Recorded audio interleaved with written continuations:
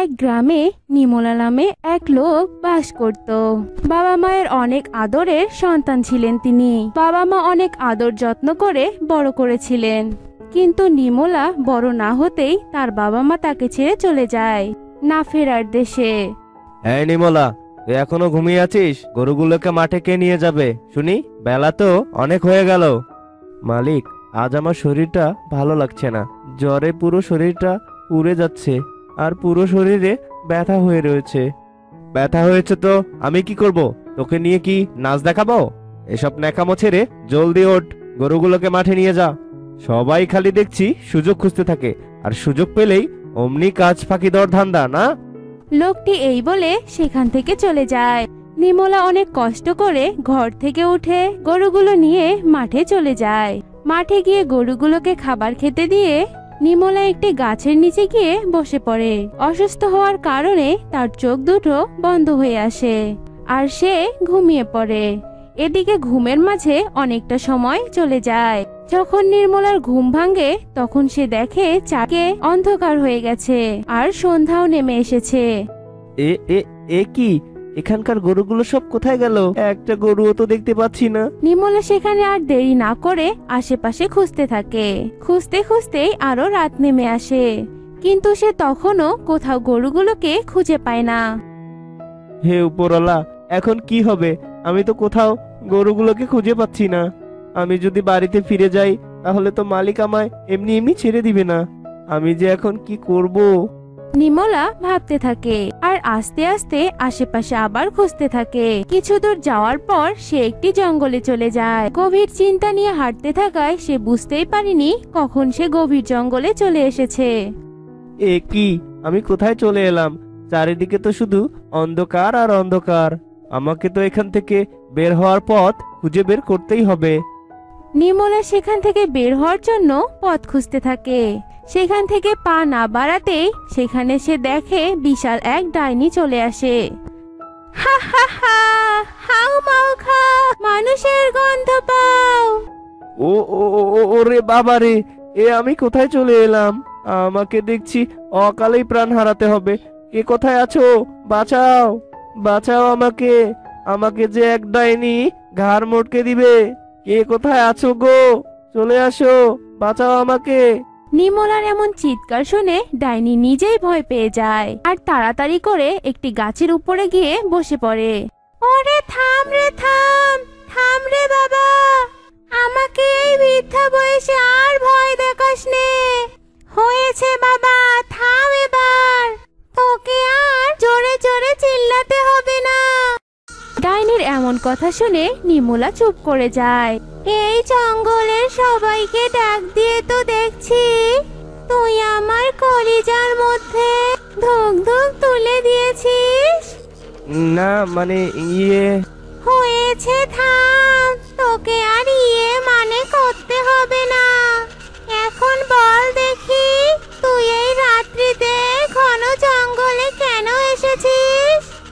মানে হয়েছে কি ডাইনি? আমার মাঠে চড়ানো গরুগুলোকে খুঁজে পাচ্ছি না, আর অনেক টেনশন হচ্ছিল। তাই তো টেনশনে কখন যে এই জঙ্গলের ভিতরে চলে এসেছি, নিজেই জানি না। ও, এই ব্যাপার। তাহলে তো আমার কাছে পুরো বিষয় পরিষ্কার হয়ে গেল। ওই বেটা মরণ চণ্ডী ভূত এত খুশি খুশি হয়ে বনে বাজারে ঘুরে বেড়াচ্ছে কেন?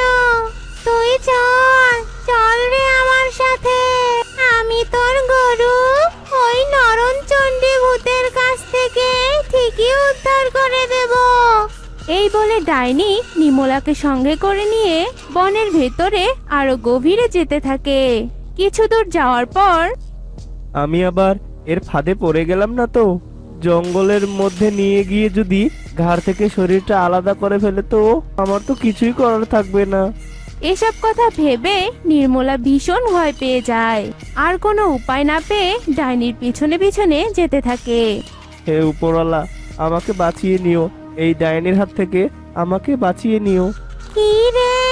তুই এসব কি ভাবছিস? আমি তোর কোনো ক্ষতি করব না। তুই নিশ্চিন্তে আমাকে বিশ্বাস কর। আমার সাথে পথ চলতে পারিস। আর না হলে তোকে আমি বাড়ি পৌঁছে দিচ্ছি। না না আমি কোনো কিছুতেই ভয় পাইনি। তুমি আমাকে যেখানে নিয়ে যাবে আমি সেখানে যেতেই রাজি। কিন্তু ডাইনি বোন? আবার কিন্তু কিসের রে? আমার না খুব জানতে ইচ্ছে করছে। তুমি আমাকে নিয়ে যাচ্ছটা কোথায়? আমি জানি তুমি আমাকে নিয়ে গিয়ে ভোজন করবে।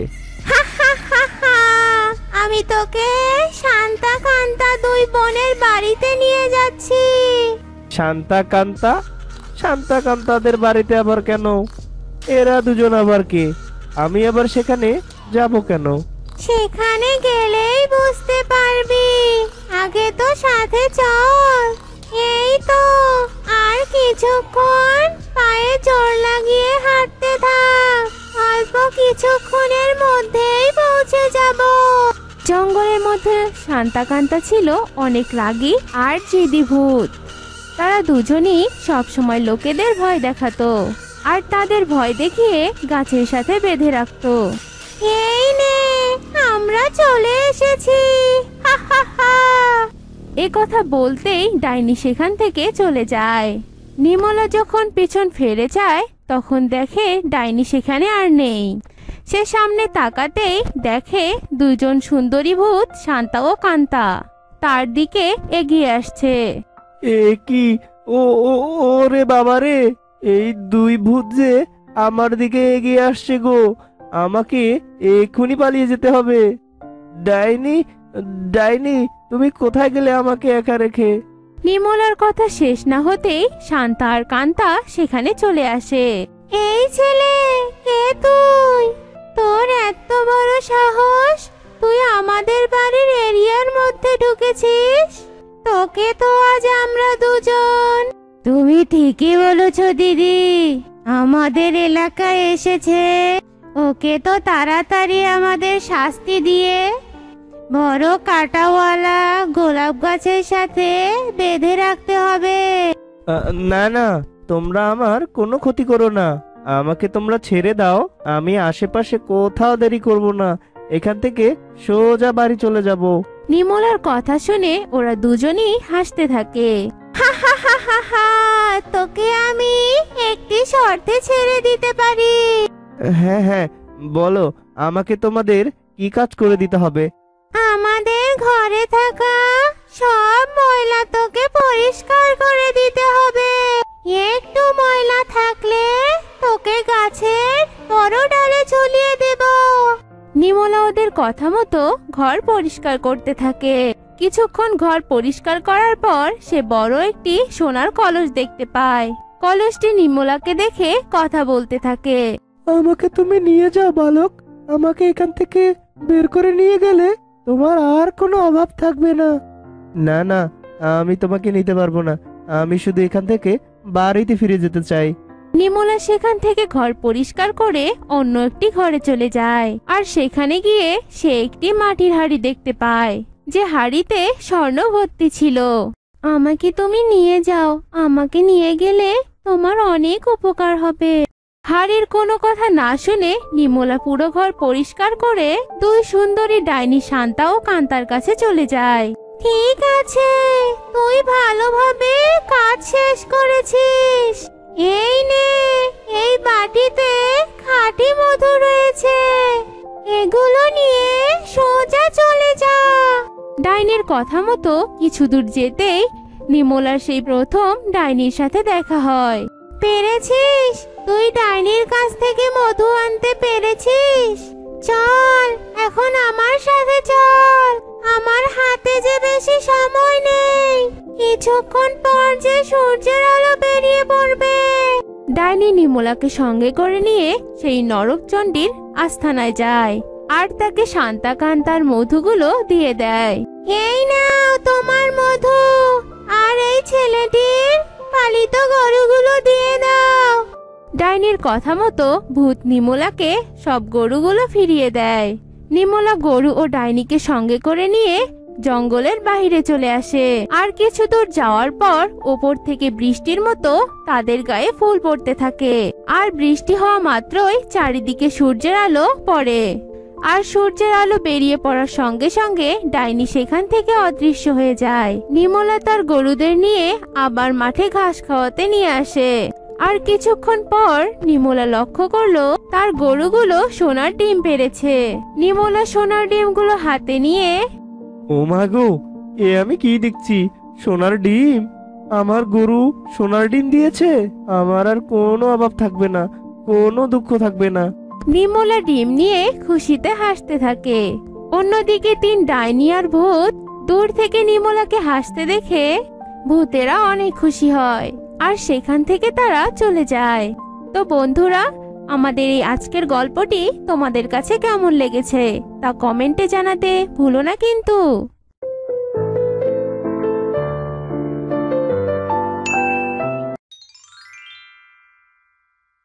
ফুলি, এই ফুলি, তুই কোথায় গেলি রে মা? এইদিকে একটু আয় তো তাড়াতাড়ি। উফ বাবা, এই মেয়েটা যে সারাদিন কোথায় কোথায় থাকে কে জানে? আমি তো সারাদিন এদিকে খেটে মরি আর এই মেয়েটা সারাদিন গায়ে হাওয়া লাগিয়ে ঘুরে বেড়ায়। যত সব। ফুলি এই ফুলি কই রে মা? কেন মা কেন? তুমি এভাবে সবসময় চিৎকার চেঁচামেচি কেন করো বলো তো? আমি তোমার একটুখানি চোখের আড়াল হলে তুমি শুধু চিৎকার চেঁচামেচি করা শুরু করে দাও। কি হয়েছে? বলো তো এখন। বলো আমাকে। বাবা তোকে রেখে তো দেখছি মহাভারত আমি অশুদ্ধ করলাম। এসেই তো দেখছি বকবক করা শুরু করে দিলি। বলি, তোকে কি আমি ডাকতে পারব না নাকি বলতো? দিন দিন যেন তুই আমার মা হচ্ছিস আর আমি হচ্ছি তোর মেয়ে। বলছি, আমার হাতে এখন অনেক কাজ আছে, বুঝতে পেরেছিস তো? আমি রান্না করে গেলাম আর তুই বরং এই উঠানটা ঝাড়ু দে। দেখতে পাচ্ছিস না? উঠানটা কত নোংরা হয়ে আছে। আচ্ছা আচ্ছা মা, ঠিক আছে ঠিক আছে। তোমাকে আর কোনো কিছু বলতে হবে না। আমি উঠানটা ঝাড়ু দিয়ে দিয়েছি। আর তুমি বরং গিয়ে রান্না বান্না শুরু করে দাও।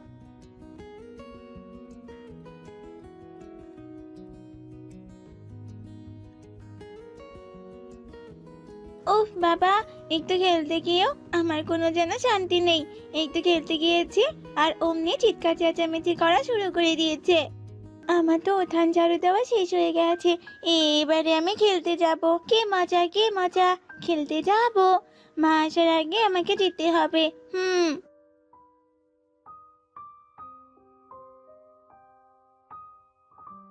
না, এই মেয়েটার সঙ্গে আমি আর পেরে উঠলাম না। উঠান ঝাড়ু দেওয়া শেষ হতে না হতেই আবারও উধাও। না, বাবা, না। আমি আর এই মেয়েটাকে বারবার ডাকতে পারব না। আমি বরং নিজেই সব কাজ করি, যত সব।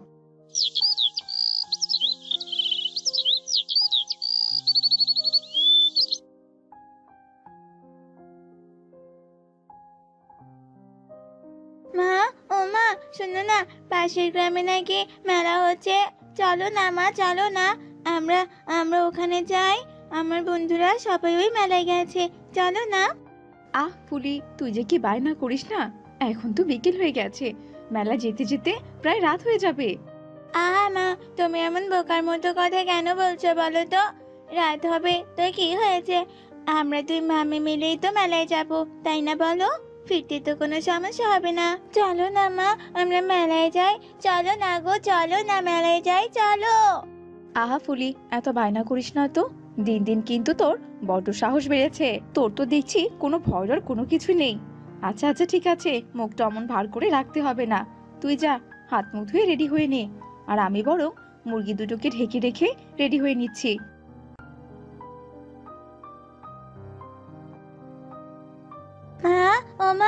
এই দেখো মা, দেখো। আমি নতুন জামা কাপড় পরে কেমন তৈরি হয়ে এসেছি, দেখেছ তো? এবার চলো না মা, চলো না। আমার যে আর তর্স হয়েছে না।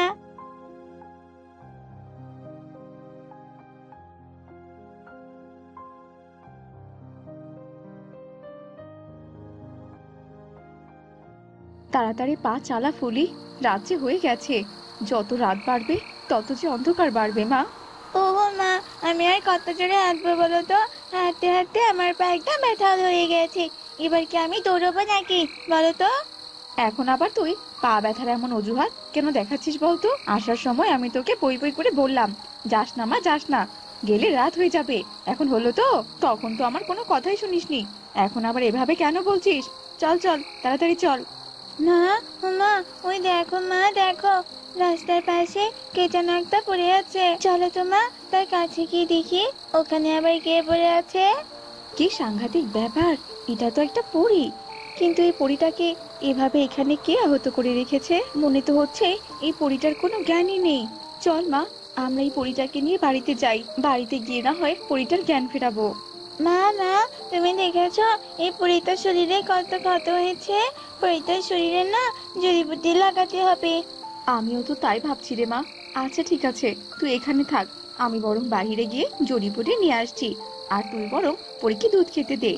দুধ খেলে পরিতার শরীরে একটু জোর শক্তি পাবে। কেমন?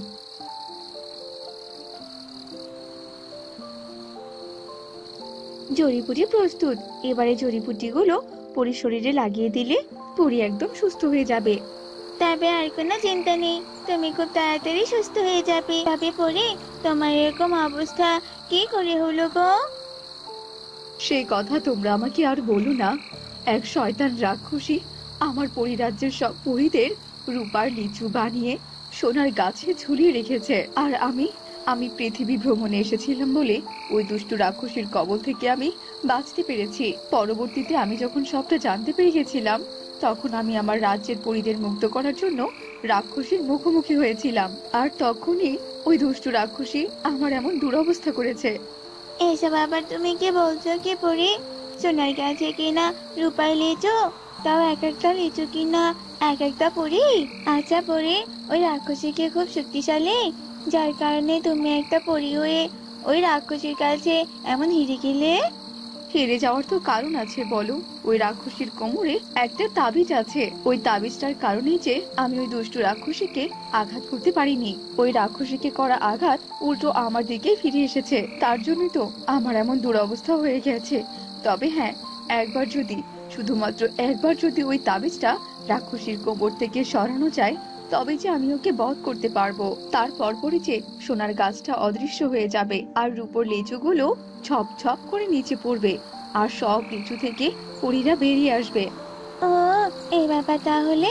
তবে তুমি এসব নিয়ে কোনো চিন্তা করো না পরে আগে তুমি সুস্থ হও, তারপর তুমি আমাকে নিয়ে ওই রাক্ষসীর কাছে যেও। কেমন? আমি রাক্ষসীর কোমর থেকে ওই তাবিজটা খুলবো আর তুমি রাক্ষসীকে বধ করবে। কেমন? সত্যি, তুমি যাবে? যাবে আমার সঙ্গে? তবে তো এইবার আর ওই রাক্ষসীর কোনো রক্ষী থাকবে না। ঠিক আছে, তাহলে অপেক্ষা করি, আর আমিও একটু সুস্থ হয়ে নেই।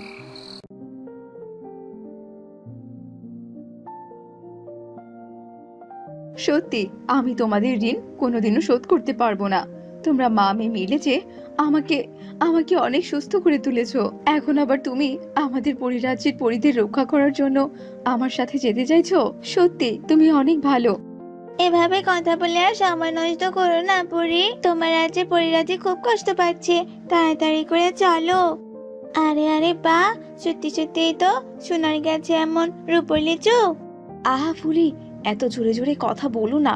ওই রাক্ষসীর যে ঘুম ভেঙে যাবে তুমি তাড়াতাড়ি গিয়ে বরং ওই রাক্ষসীর কোমর থেকে তাবিজটা সরিয়ে দাও। না হলে যে আমি কোনো কিছু করতেই পারব না। আমি এখানে দাঁড়িয়ে আছি। তুমি যাও। যাও ফুলি।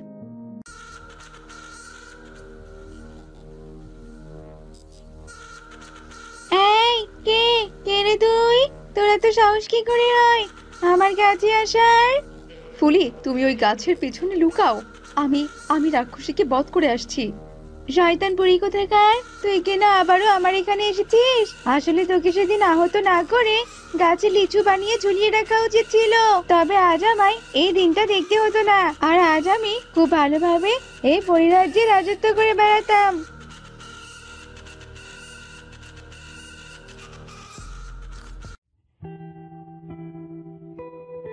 সত্যি ফুলি, তুমি যে আমার বড় উপকার করলে আর তাই তো, আমি তোমাকে পুরস্কৃত করে তবেই তোমার বাড়িতে তোমাকে রেখে আসব। এরপর পরেই জাদু করে এক হাড়ি হিরে নিয়ে সে ফুলিকে দেয়। আর ফুলি সেই এক হাড়ি হিরে নিয়ে তার বাড়িতে ফিরে যায়।